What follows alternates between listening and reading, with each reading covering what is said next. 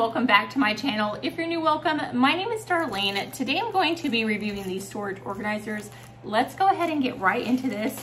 So I'm just gonna be showing you kind of what they look like um, and all of that fun stuff. So this is how they come. So pretty much you just open them like that. You go on the other side and zip them up. So this is what the material looks like. It's like a really thin, lightweight material and it is sturdy because the outside is hard and pretty much what you'll use this for is like your underwear drawer, your sock drawer. You can also use it for like arts and crafts and put like just different things in each little section. It just depends on what you want. So it does come with this one.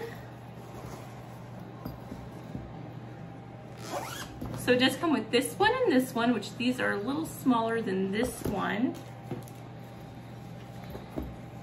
and then this one right here. And the awesome thing about these is they are collapsible. So if you're not using them, you can always just um, collapse them super easy. So that's what all three of them look like.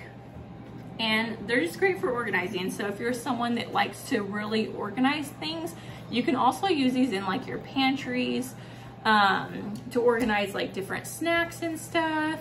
Um, you can use them for something like that as well. Um, just really good for organization and they are not gonna take up a ton of space.